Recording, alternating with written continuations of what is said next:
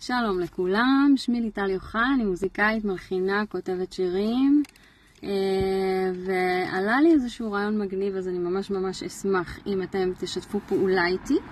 הרעיון הוא כזה, לקחת את התקווה ובעצם להלחין לחן יהודי משלנו, חדש, לא רומני עממי, שאנחנו שרים אותו כבר שנים ואיך אתם תוכלו לעזור לי? אני הלחנתי משהו חדש שנשאר לכם פה עכשיו, ואני אשמח אם אתם גם תעלו סרטונים שלכם שאתם שרים את הלחן הזה, ועושים השטג התקווה, ויאללה, בואו נפוצץ אותה בעולם ונחזק את המהות שלנו ואת הכוח שלנו. יחי עם ישראל. אז ככה. כל עוד בלב הפנימה, נפש יהודי יומייה. ולפת מזרח קדימה, עין לציון צופיה.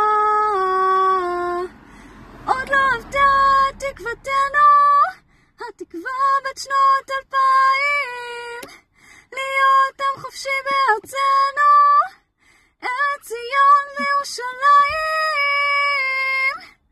עוד לא עבדה תקוותנו, התקווה בת שנות אלפיים,